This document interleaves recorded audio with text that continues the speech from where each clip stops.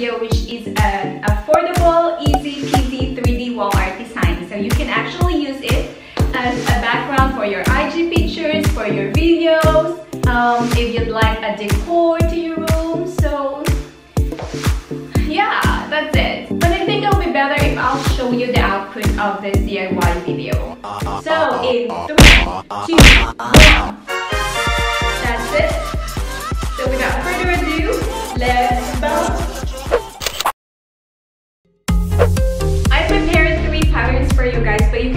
Choose one. So you can download this from the link in the description box. Have it printed out in a thick paper. Cartolina's and choose any color you want. Just make sure it's gonna blend well.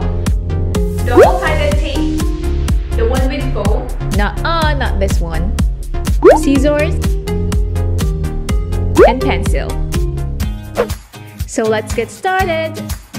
Choose whatever pattern you like. I got the third one, which a bit complicated, but it's worth it.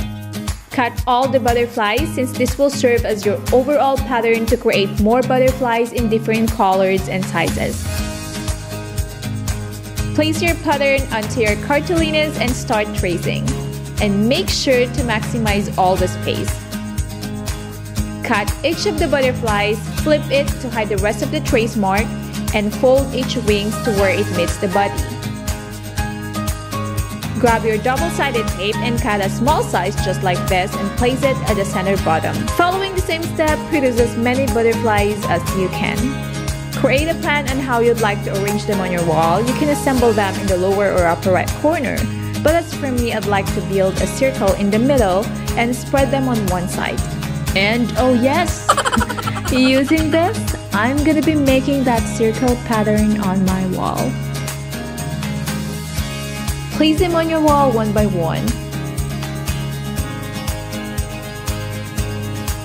And voila, the last piece.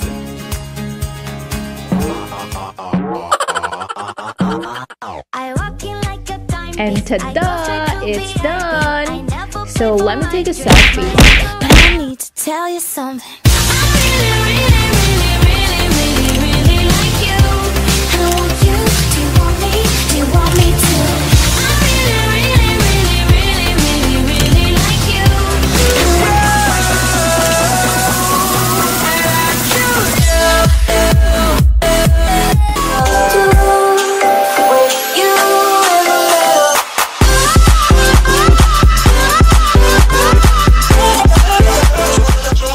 But that's it.